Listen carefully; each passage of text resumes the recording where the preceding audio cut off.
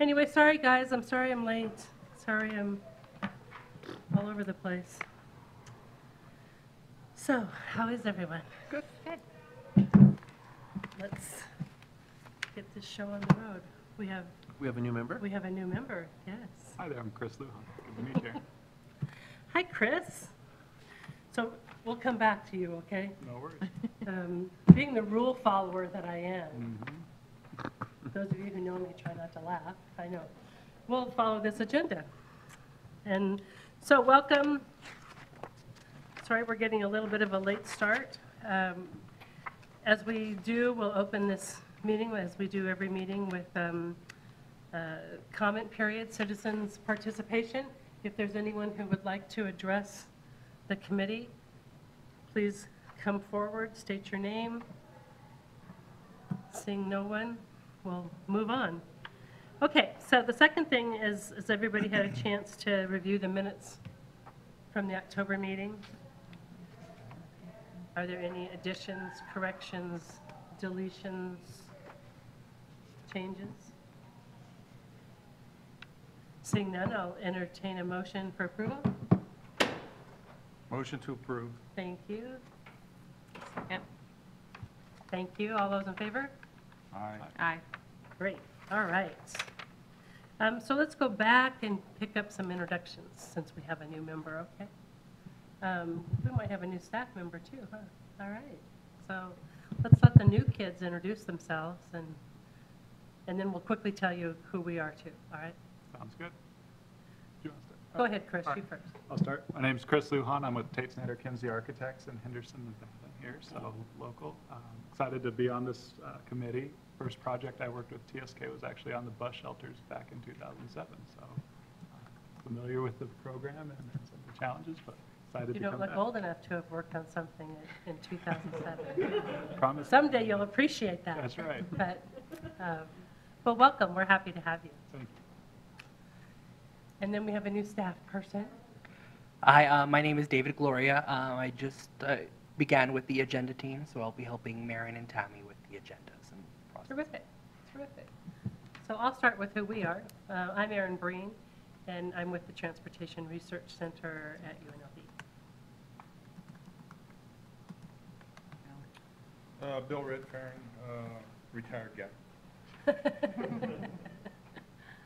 Audrey, we'll go to you. Um, Audrey Eslin and um, federal employee, and I guess I've been with you guys a couple years now. Yeah, Time Yeah. flies. time flies. Yeah. Scott Edelblut, Transit Amenities Supervisor with Carl and Ellen. And I'm Carl. I brought Scott. Thank you. Okay, And I'm Ellen, I brought Carl. No, I'm kidding. I I work with Carl Scott. Maren. I'm Maren Dubois. I'm with the RTC and I oversee bus shelters. Great, Rick. I'm Rick Rosen, I'm an, alco- wait a minute, wrong meeting. I'm an entre- entrepreneur.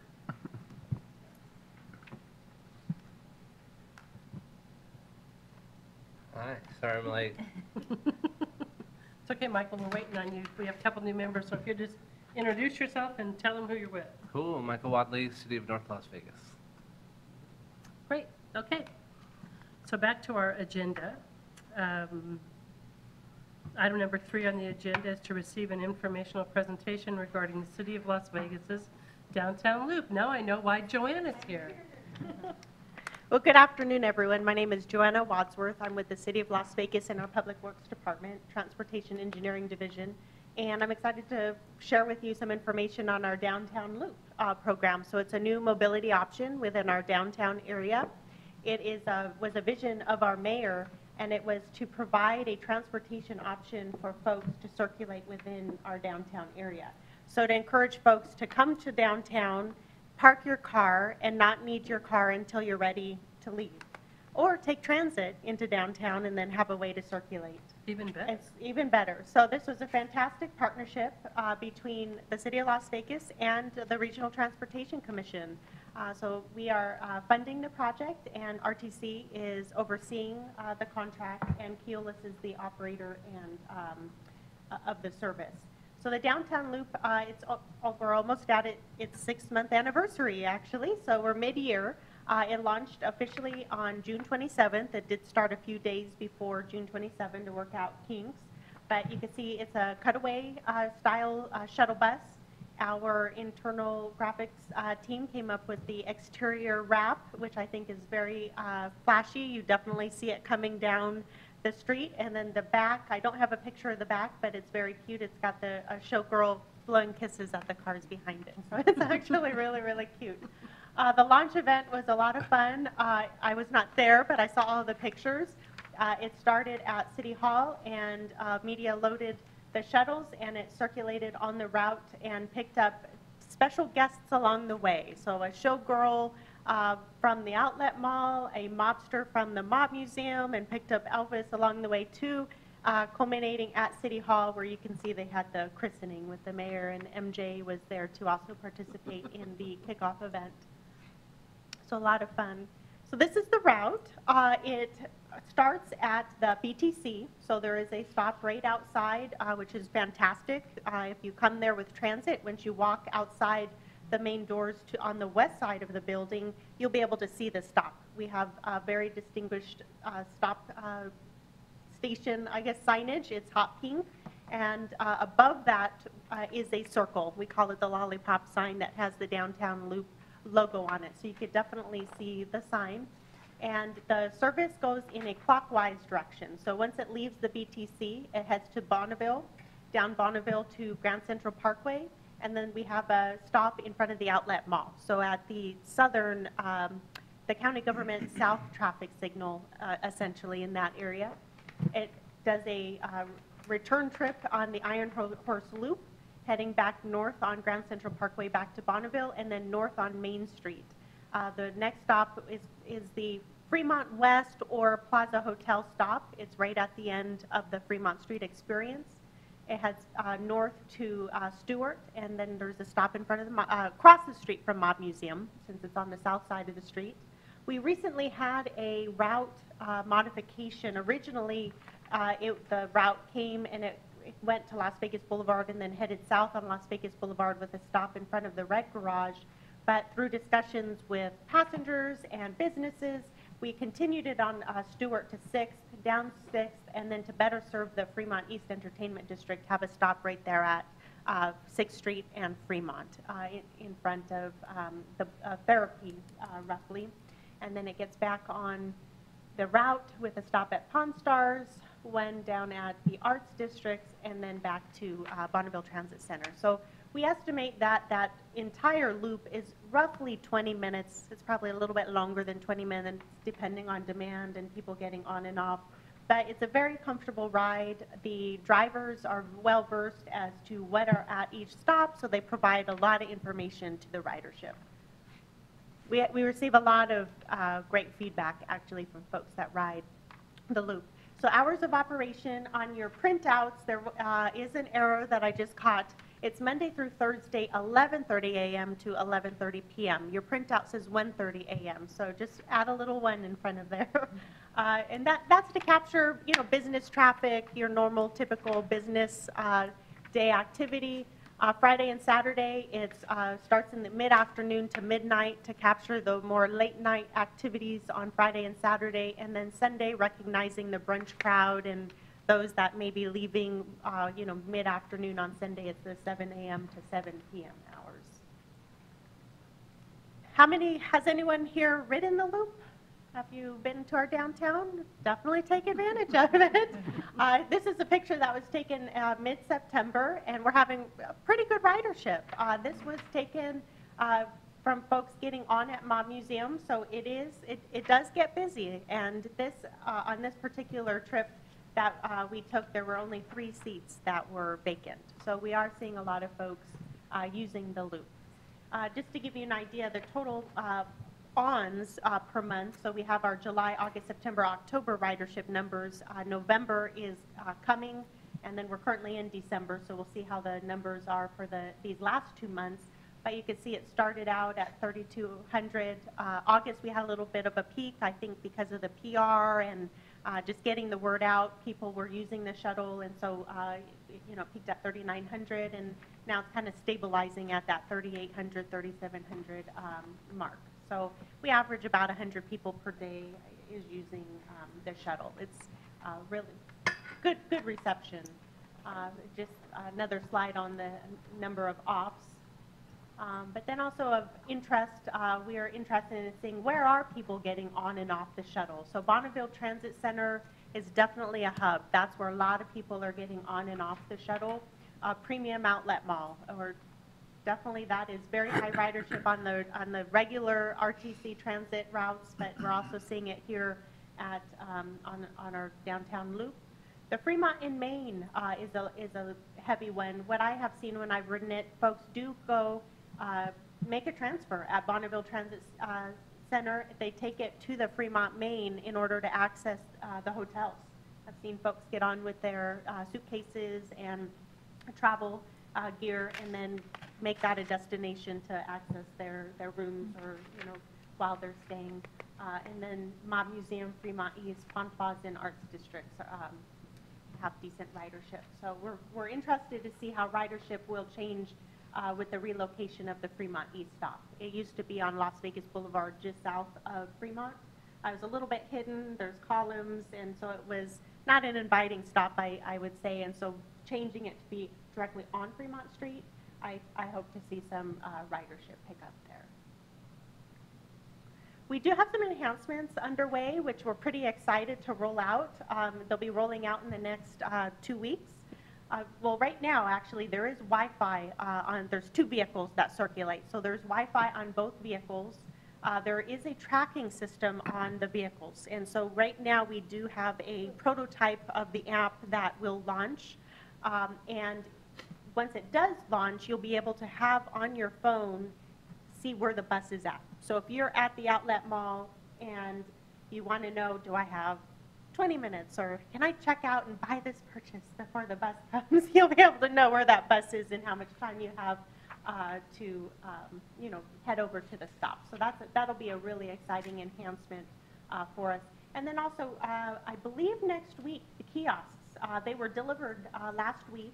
Uh, They're finalizing the content on, there- there'll be a interactive screen on one side and then static, just kind of decal on the back side. And you will also be able to track the vehicle on that interactive screen too. So if you were at the stop and you didn't have a cell phone, you would be able to look on there and see where the loop is. And so we are looking to install those either next week or the week after with the holidays and staffing, um, uh, you know, to be determined, but it will be within the next two weeks. So that'll be a very nice enhancement uh, for the stops. Uh, Another enhancement that we're doing is, there's a little bit of uh, distance between stops, and if you're at either World Market Center or somewhere in an intermediate area, uh, you may not know how far or where to go to get the loop, and so we are adding some way- additional wayfinding signs. So it'll have the round uh, loop sign on the top with an arrow to direct you to the stop. And then we are also, uh, we have purchased sidewalk clings, so from the vendor, that's why I was contacting you, Erin, for the vendor. So we were able to uh, work with, um, I thought I can't name- think of the name of the company, like Las Vegas Color, I think it is, and order clings, and then we'll have those along the sidewalks uh, to the loop stops as well. On a neat uh, little side um, information I will provide is, this is the route for the downtown loop, but we also have underway is our driverless shuttle project. And that is a very exciting de- pilot deployment. It is a partnership with Keolis and AAA, and it is the first driverless shuttle to be deployed in mixed traffic and connected to the traffic signals. So you are in a vehicle without a driver, and it is navigating our streets, stopping for the, the red lights, uh, you know, proceeding through the traffic signals. There's, and it's right here in the Fremont East Entertainment District. So if, uh, the main pickup drop-off location we're finding is at the Container Park. So if you pick up the uh, little driverless shuttle at Container Park, you would head uh, east on Fremont Street. It's also a a clockwise uh, pattern. So it goes south on 8th Street, makes a right and heads west on Carson, and then north on Sixth Street, and then back on Fremont. So right now, it's more of a entertainment, trying to get the word out, get people, uh, t- you know, able to experience a driverless vehicle. It's free, it's open from uh, Tuesday through Sunday, 11 a.m. to 7 p.m. Uh, So if you find yourself down in this area, or if you have time and you'd like to check it out, definitely check it out. Uh, That's why um, the pilot is underway, so that we can obtain feedback and then, and learn from this pilot. And so with that, I'll um, answer any questions that you might have. Yes? Driverless shuttle. who- Yes. Who is it that cusses at the other drivers if there's no driver? I know, right? You know, it's interesting because we, uh, the driverless shuttle follows the rules of the road. And so there are six traffic signals, but two stop controls. There's a stop control right there at 8th and Carson. And so we were heading down, I was riding in the vehicle, we were heading down, and the vehicle stopped. And then it, you know, it did a full stop, and the car behind us was honking at us. So, you know, it didn't do a California roll and go through the intersection. So it, it is a, a very unique experience, and it's, um, you know, little things like that to figure out how does it interact with other drivers, how does it interact with uh, people, and then uh, we have active crosswalks in, in that area too, so how do people walking, you know, perceive the vehicle? Any other questions? So did you mention what the cost was on the loop? Free. Oh, that's free too? Mhm, That's Okay. free too, yes. And so right now, and I will mention that we have funding, it's a pilot, we wanted to see ridership and how it would be received by businesses and the public. It is funded right now through June 2018. And then uh, we will be making a determination I- in the next month uh, for continuing that service and funding it beyond uh, 2018. The kiosks? Yes. um, Do you know where you, are you putting those at every stop? Do you know which? Every stop. Okay. Yeah, there'll be every stop. Uh, There are two, well, actually, three additional ones. Um, There will be one at City Hall, uh, and so in addition to the seven stops, one at City Hall. They're gonna, we are gonna install one uh, right here on this corner, so Grand Central Parkway, oh, excuse me, this corner, Grand Central Parkway in Bonneville, uh, just so that folks uh, from World Market Center or Government Center could have access. And then we were also looking at Fourth Street at Fremont. So that just kind of just south of Mid-Mont. Fremont, near the larger uh, ridership bus stop um, on Fourth Street. To add them as stops or just the?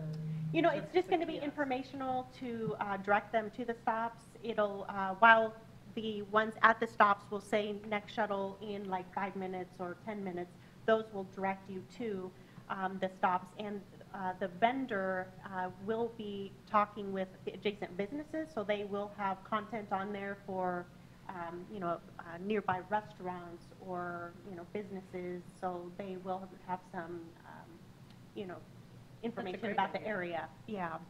And they're solar, so they essentially just, you know, bolt into the sidewalk and, um, you know, could be moved around easily if needed. So is there a computer on board the kiosk? The screen, is it? It, it, it's a computer in the sense that it is a, um, uh, preloaded with, um, menus, I guess, so you, you would, you know, navigate through the menus for the information. But not something someone wants to steal? I mean, No, not- yeah, no, it's integrated in, and, uh, I would hope not, and I would hope they would not vandalize them either, but that's what we will see. Well, because- yeah, that'll, so- that'll be really interesting too, Yeah. to see what happens with that. Yeah, no, for sure. for- Hopefully for there's sure. enough eyes on them that they Yeah, won't go away. yeah. Okay. Any other Can, questions? can the kiosks uh, also, I mean, will they be able in the future to sell regular bus tickets or? You know, right now, um, we have not had that discussion, uh, because the, the loop, uh, is free, um, there's no cost, but, and I think, uh, RTC may be moving to more the app-based payment, um, and so, I mean, that could be an enhancement we could talk about in the future, but, uh, right now, no. Well, I love that, like other big cities, we have a free loop in the downtown area. That's, that's. Yeah, and with all of the improvements in our downtown, uh, there's so many restaurants and destinations that you could spend your time looping around and visiting them all. Yeah. Yeah, okay. Okay, well, Thank thank you very much. Thank you, Joanna. Thank you. Okay, so moving on to item number four. uh, receive an informational presentation regarding the Southern Nevada Strong Regional Plan. So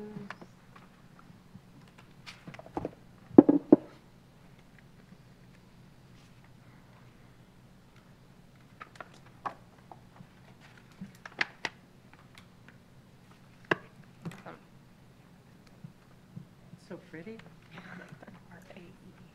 Good afternoon. Um, My name is Ray Lathrop. I'm the manager of regional planning here at the RTC. Um, I oversee um, a new initiative here at the Regional Transportation Commission called Southern Nevada Strong. And we thought some parts of it would be really relevant to this group um, and maybe just kind of connect a little bit of dots as far as what you guys do here and how it implicates kind of our long-term vision for the future. So a little bit of history. Um, Southern Nevada Strong is actually um, the output, the product of a three-year planning process uh, that started in 2011 when the Regional Planning Coalition received a $3.5 million grant from the Housing and Urban Development Department.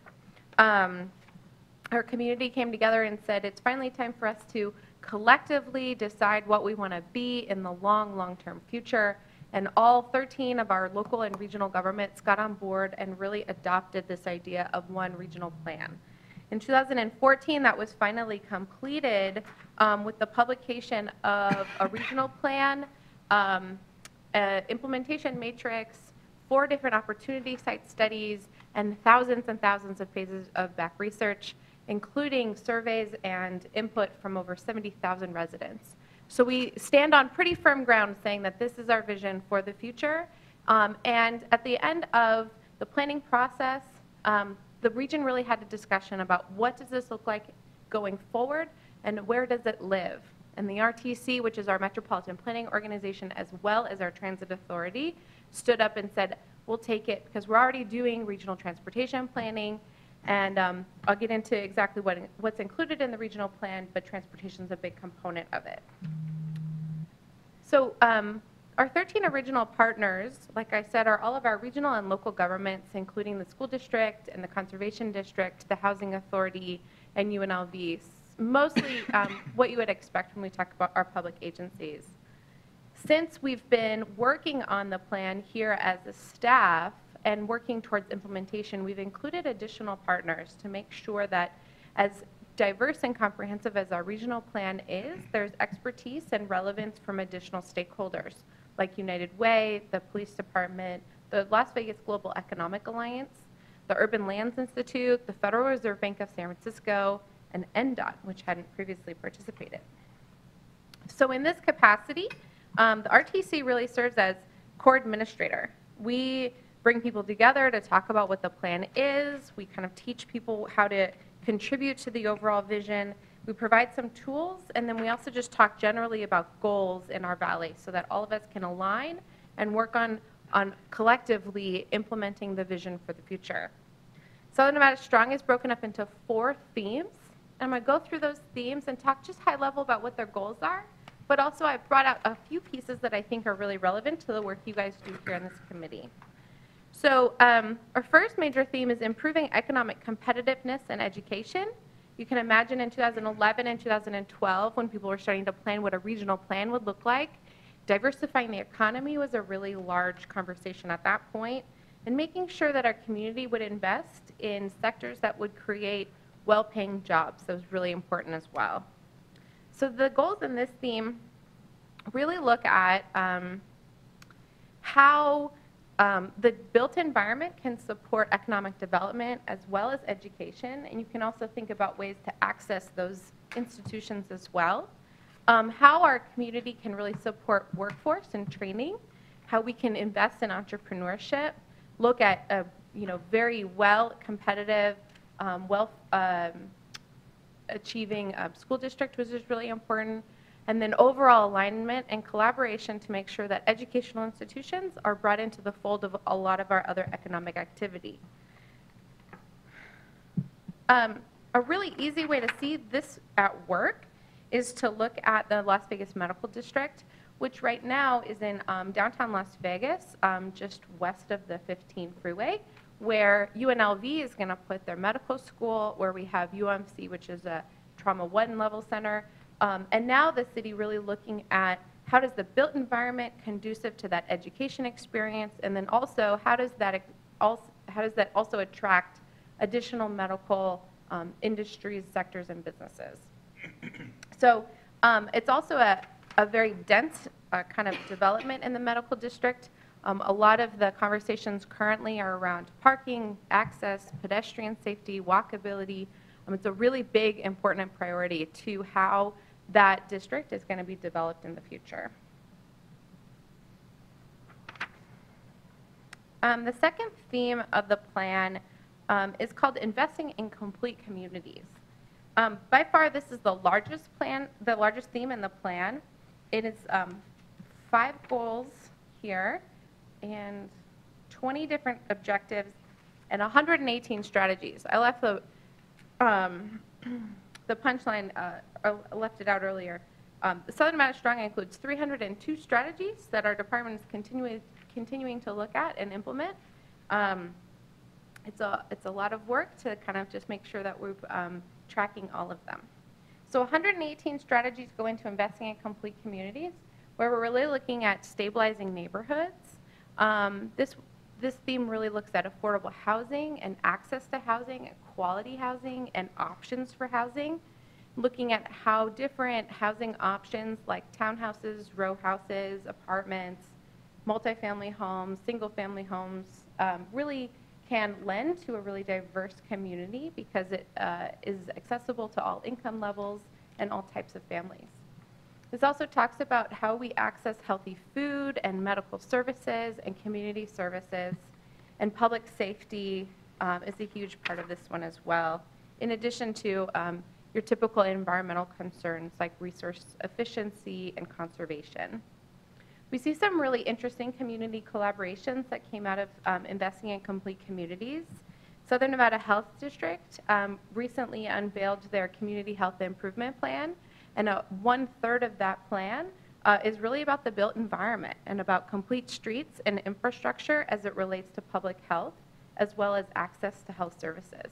That's a huge step forward, we think, as far as how the, pu- the public health community really views um, the built environment and how it's really um, part of their goals. There's also some really um, creative uh, work going on with uh, making sure that uh, there's food uh, available to children in schools, um, breakfast before the bell, other additional food pantries and mobile food units um, during the summer months to make sure that kids are fed um, when they w- wouldn't be um, in school time.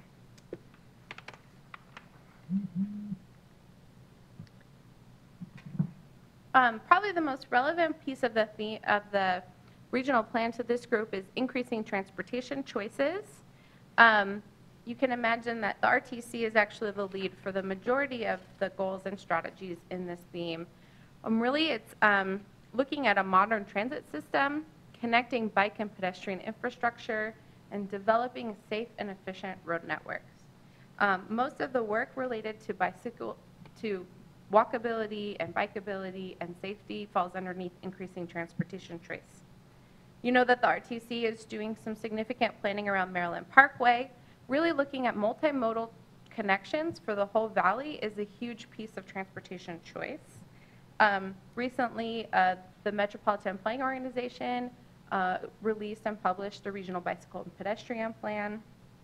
And um, this really also looks not just at the infrastructure, but also at design standards that are really important to the built environment. I actually have right here a trusted implementation matrix. Um, And I just wanted to point out, so underneath the first goal of investing in um, transportation choices is developing a modern transit system that's integrated with neighborhoods, employment centers, and better connecting people to their destinations. So um, one of the strategies underneath that is improving the rider experience by locating stops away from adjacent travel lanes, offering robust lighting, and making other site considerations that maximize visible visibility and safety. So it's right here in the plan as far as the work that you guys do and everything that's related to um, transportation choice. So you didn't even know you're part of implementing the regional plan. The last part of the plan, um, the last theme is building capacity for implementation. Um, this is where we get into um, what does leadership look like and how does our community step forward and do the important work that needs to get done for this plan to succeed. We really uh, prioritize uh, public engagement in this plan, not only during the writing phase of it, but now during implementation. We go out just like this, we make presentations and make sure that a lot of people are aware of the plan and our efforts moving forward to progress it into fruition. We also really prioritize trying to get voices from all of our different communities and minorities and populations included in this work because that's really important for us. We work with other agencies to talk about collaboration and talk about prioritizing goals. Um, we're building capacity for leadership and for uh, work to be done. We're also discussing local funding strategies and how to build up revenue in order to make implementation easier for our partners. One of the things we've decided to invest in next year is some workshops on how our community can be more um, competitive and ready for when there's grants from national foundations and the, and the federal government. So, um, yeah, we're just trying to make sure that everybody knows what's going on and how they can contribute individually and also part of the agency or organization that they work with. Oh, and there's a picture from our grant strategy meeting where we got about 15 nonprofit grant writers to kind of discuss some challenges and opportunities when it comes to our community uh, receiving grant funding as a means to increase revenue for implementation of the plan itself. Um, so the regional plan is really big, really diverse, but also very relevant to everybody in our community and everybody in all of their private lives and their work lives. And we think it's really important that we connect with all of our residents. We have a Facebook page, we have a Twitter, we have a newsletter, and we also have ample opportunities for people to engage in our working groups um, as we look going forward around themes, issue areas, and sometimes we look at geographies. There are um, individual reports uh, written during the planning phase around what does the vision of Southern Nevada Strong look like at four opportunity sites. That's Maryland Parkway, um, the Medical District, um, Boulder Highway at Gibson, down in Henderson, and downtown North Las Vegas. Places that could really use some investment and some encouraging uh, work around them. So in the coming year, we think we're going to continue to work on those four sites. Overall, we're just really invested in building relationships with leaders and partners so that um, we can all be a part of making Southern Nevada stronger. And that's it. Any questions? Yeah. Is the full plan available at southernnevadastrong.org? It is available online. I also have um, a copy if you would like to take one on your way out. If nobody else wants it, I'll take it. Oh, I actually have like eight of them. I just have a pocket of it, you guys. Yeah, I'll take one. We're lucky we had um, our annual summit last week where we get our community groups together and we talk about all the great successes we've had in the previous year. So we just made a bunch of these that have all of the reports on them. And you're welcome to take one on your way out. Since I missed the, we had a, I had another meeting last We- Wednesday, so. We did videotape it and we already have a highlight reel in production. So. Anything? Awesome. Okay, thanks, Ray. And then, uh, it's evidenced by show and tell. The last thing, um, the last report given will be to receive an informational presentation regarding a possible new solar lighting instrument. Well, guys, we're going old school today. I didn't get the product in till late, so I didn't have a chance to uh, make a PowerPoint. So I'm going to give you a couple handouts here of uh, what the lights look like when they're dark. Okay. Walk down this way. Oops, sorry. That's yours back there?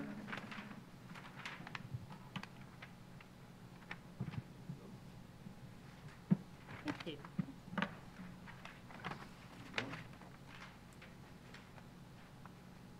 Thanks, Rick. That was very good. You heard follow.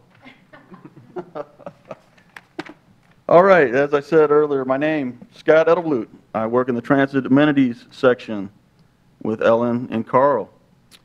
And uh, I'd like to give some quick facts about our section here.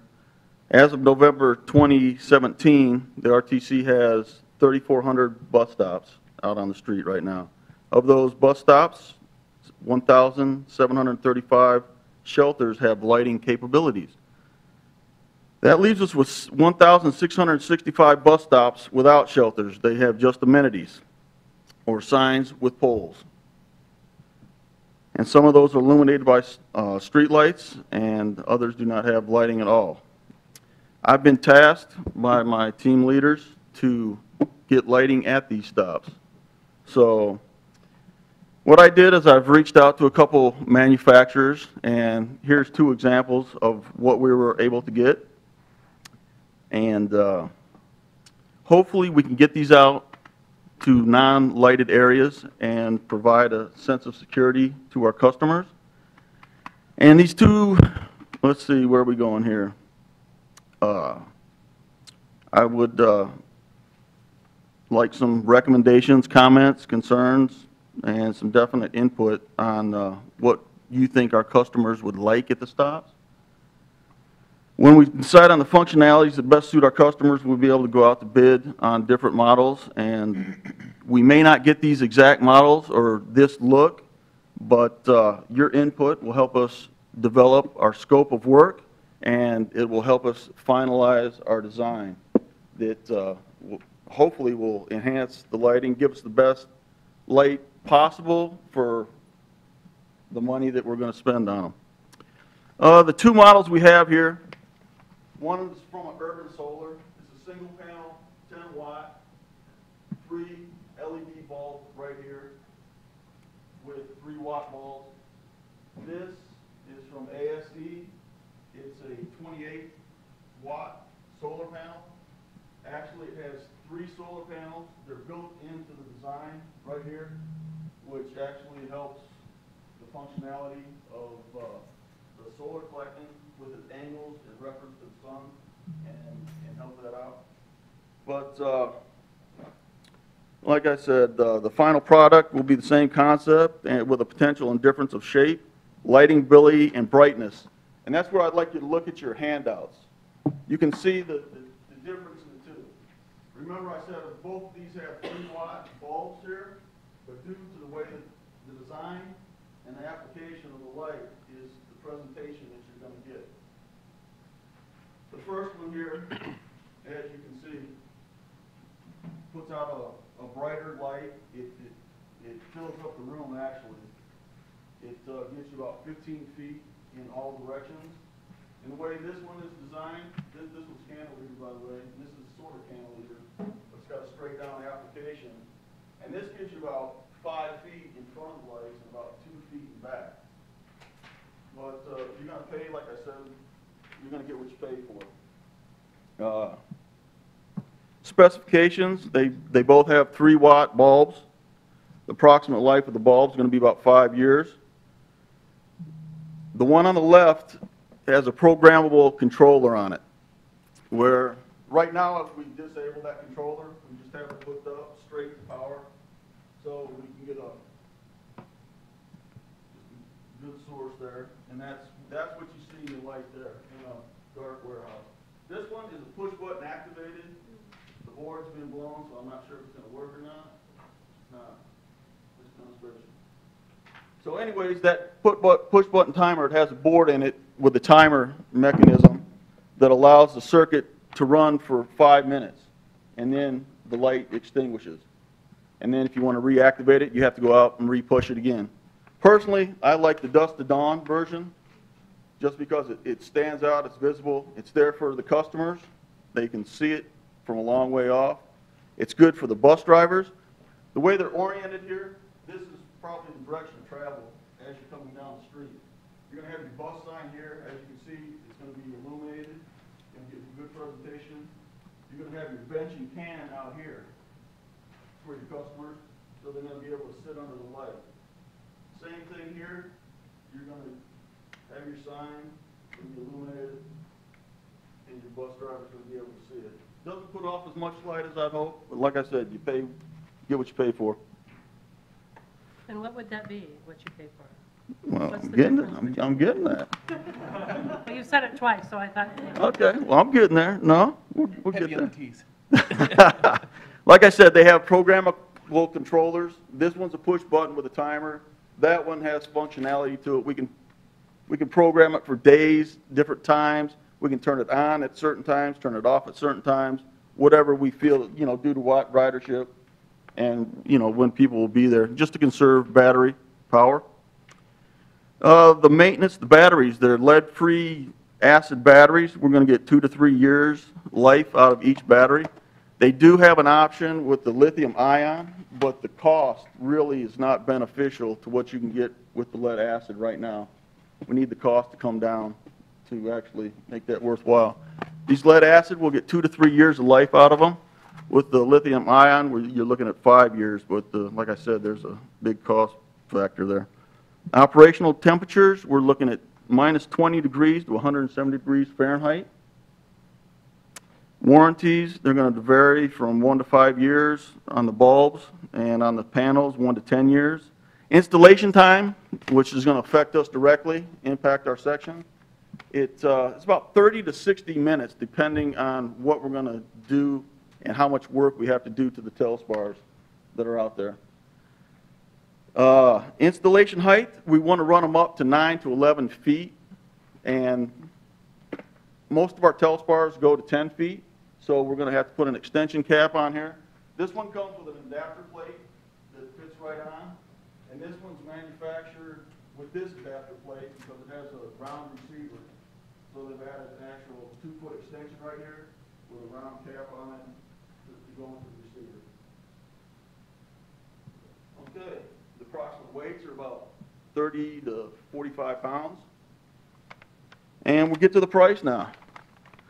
The one right here in front of me is about uh, $1,000, and they range up to around $1,500 from what I've seen, and once we start the bid process, we'll see how they come in. But the one there with the programmable controller, that's about $1,200. So depending on the functionality and difference in batteries and manufacturing costs and whatever, that's, that's where we're looking, $1,000, $1,500 per unit. We're looking at maybe 300 units to start with, and get them out on the street. And, uh, but I would like to ask you guys for a little input. I'd like you to think about it, maybe not today, but sometime you can get back to us. You know, the size and the shape of what you would like to see. How would you like to see the lights? Uh, You like the presentation of the the embedded lights, or do you like something that's out more clear and in the open? That's a polycarbonate shield. It is, it looks fragile, but it's really not fragile. You probably have to shoot it to break it. Don't, uh, quote me on that, but I'm going to go with it. And, uh, you know, this one doesn't have any screening, I say for bugs and stuff to get into, where this one does have some screening on the access hole, ventilation hole. Uh, toppers for birds. As you can see, we might have a problem with pigeons here, where this one, maybe not so much. So these are just different things that you can think about, and help us get back, get back to us, and maybe some ideas that you have. We can also uh, powder coat it. We can go with RTC colors, or we can do whatever, gold and blue, and run around the frames, art, brand it with RTC, you know, if you guys would like to see that. Uh, Alternative mounting methods.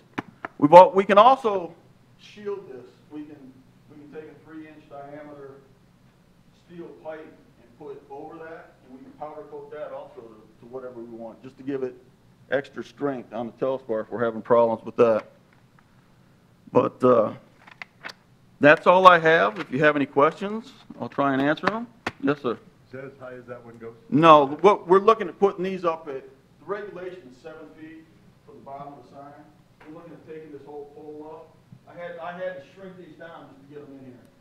So we're taking, we're gonna take it up to nine to eleven feet. I thought for sure you were going to tell me that there was a huge price difference. No. Because when you're looking at them, one is aesthetically very nice and you would want it. Mm-hmm. where- And the other one is not. Just, Yeah, and that's what we'll see. And- It, it depends on the manufacturer and, This, the, the one that is- is aesthetically pleasing also would illuminate part of the sidewalk and, or more Exactly. of the sidewalk to, so that you could see people waiting, and this one does not. So um, I would love to see these up and down busy streets, not just at, not just at bus stops, but to actually light the sidewalk for, and I know it's something you guys are looking at, Joanna.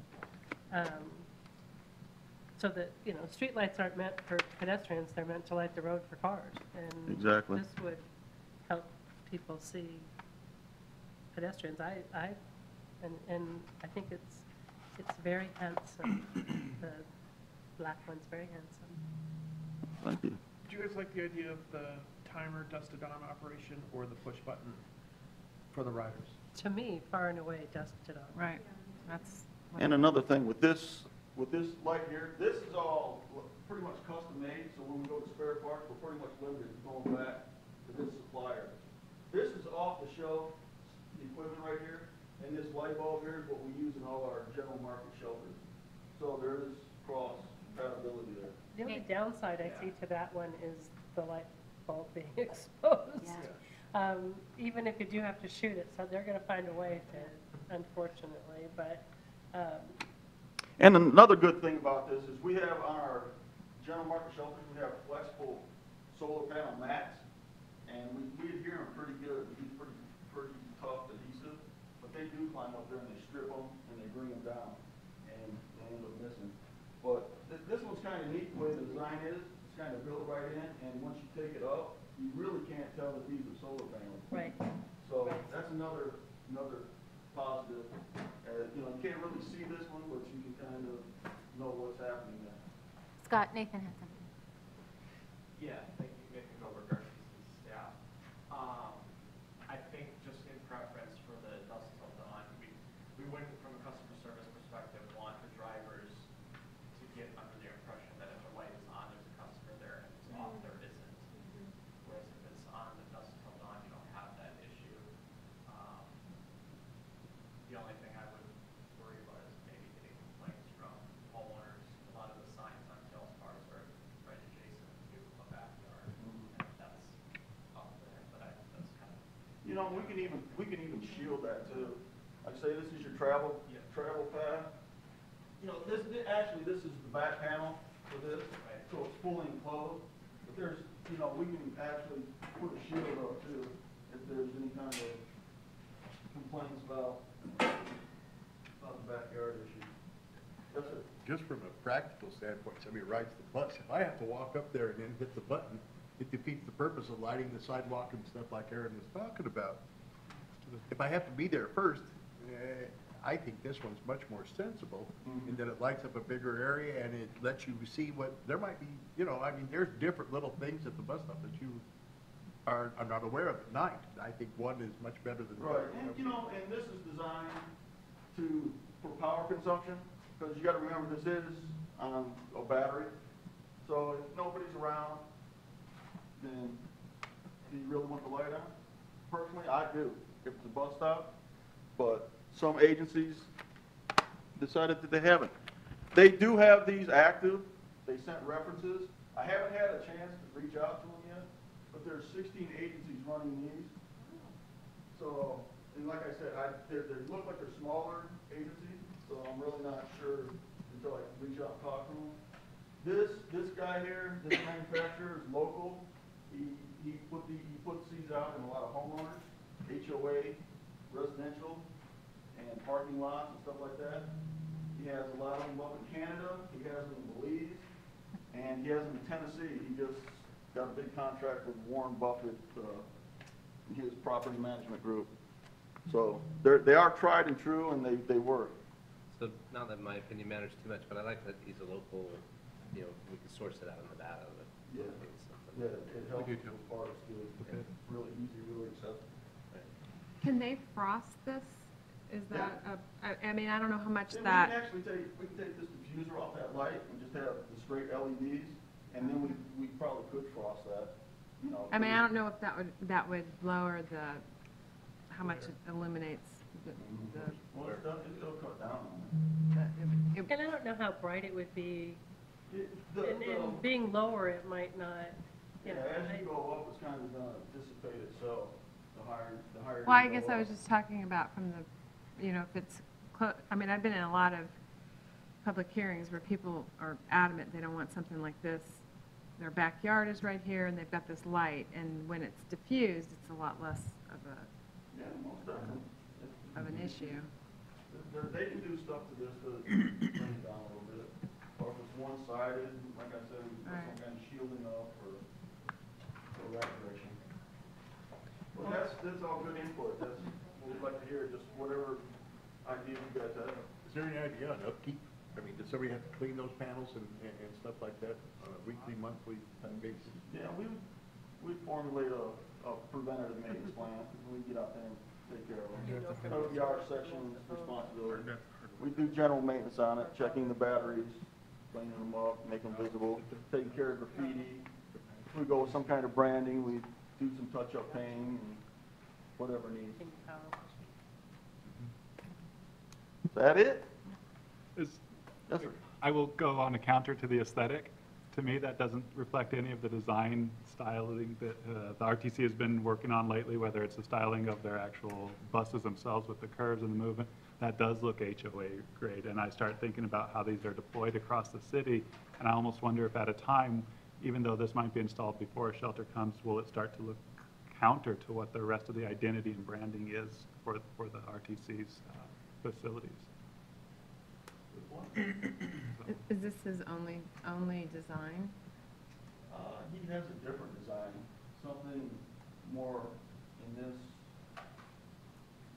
this look right here. And what I found is if you don't kind of, if you don't counter, if you don't cantilever the lights, that light's gonna be directly over the pole. So if you don't have any kind of diffuser or reflector to push that light out, then you're just really limit it. Then, then you get the look Yeah, you're of what you're getting there. Well, just And, looking and at the second, and secondly, this is gonna act as secondary, it's gonna illuminate this light, or this sign too. It's gonna help the customers and passengers with, uh, just their presentation, they're available, be available to view it better and stuff like that.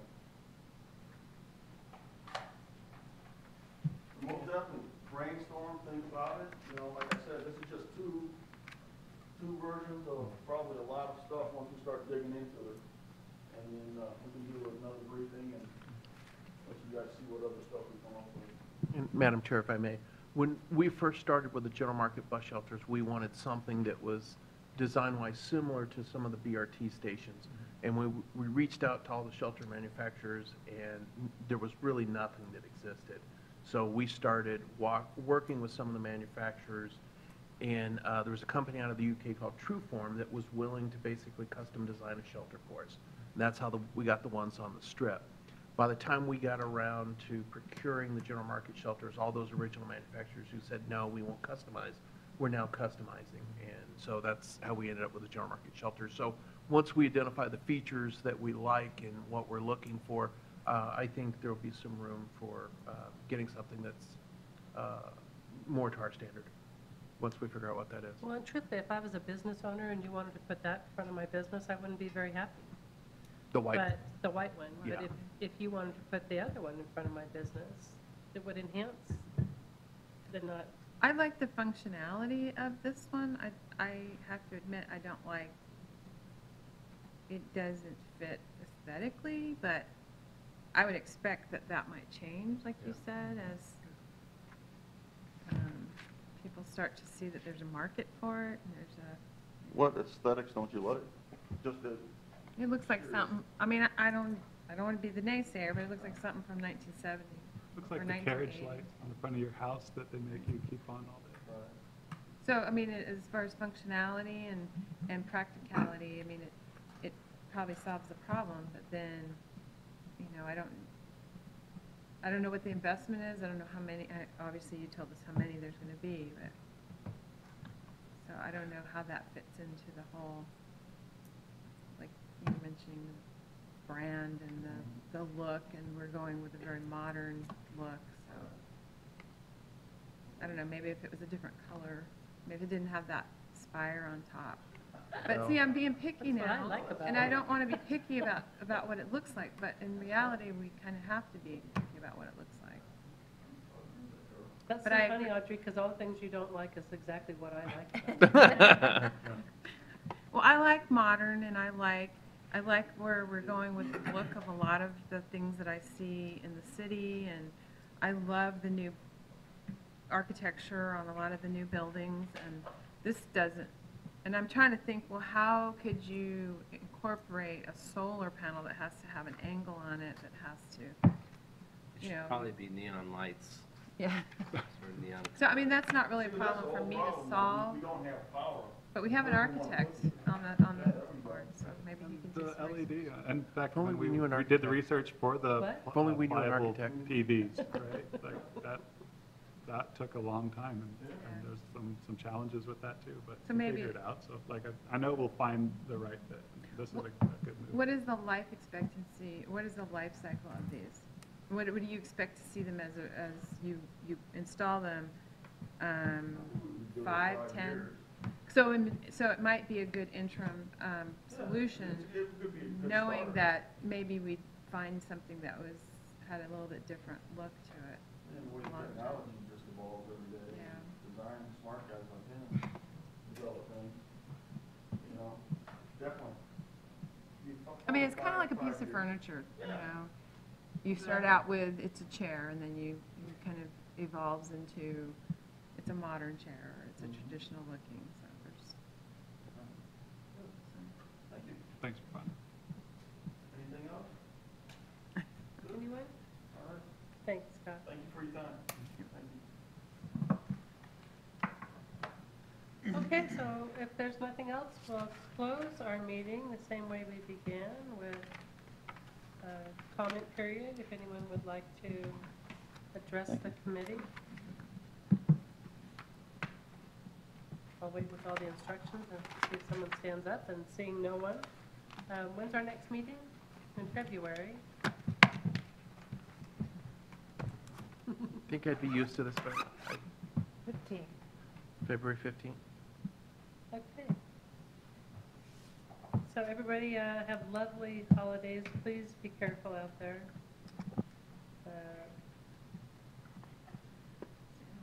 It's been a crazy year. Vow to do better in 2018. Thank you. Thank you, Karen. Motion. You'll take that. Oh, do we have to move, make a motion to adjourn? No, you just adjourn the meeting. Yeah. But- I never remember from meeting to meeting which one is formal and which. I you know. We should give you a gavel. Which one do you have to jump through all the hoops for and?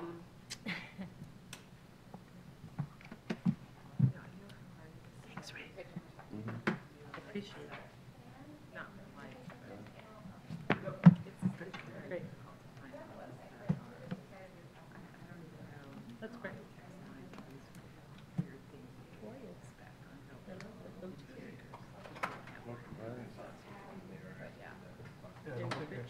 Yes. You gotta- There's probably something out there.